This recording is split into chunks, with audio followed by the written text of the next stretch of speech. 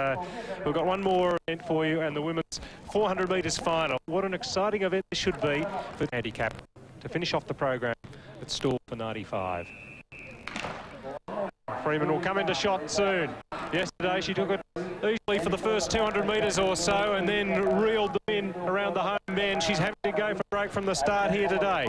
It's Julie Brown who leads. June Petrie, then Jackie Lewis. In the yellow, Sue Shepherd. Cathy Freeman getting a huge roar from the main grandstand as she goes past them. She's about 30 metres down on the leader, Julie Brown.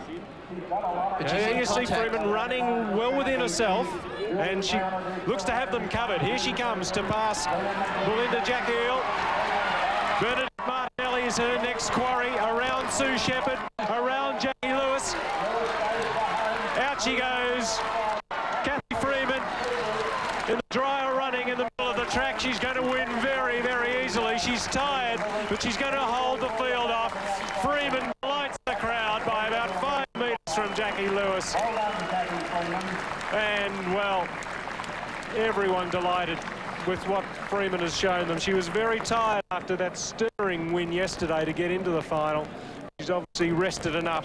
I'm employee of Australia Post, so uh, the sponsor will be pretty happy. Yeah, I think that, um, and the fact that uh, she's run magnificently. She probably went out a little bit harder than she did in the, uh, in the heat of the uh, 400, but uh, she has run magnificently. Just starting to get a bit tired, but it's a heavy track, and uh, she's won that by uh, a good five five metres and fantastic run.